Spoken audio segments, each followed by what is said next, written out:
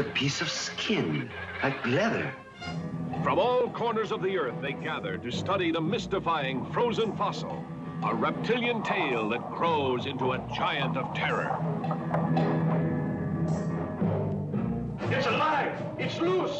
You have been invited here to see for yourselves one of the most amazing events in the annals of scientific history.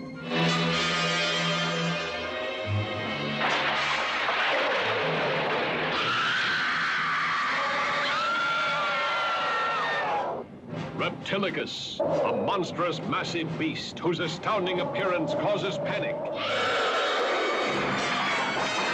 Reptilicus approaching the city. Repeat, Reptilicus approaching the city. This is Grayson. All units. Fire at will.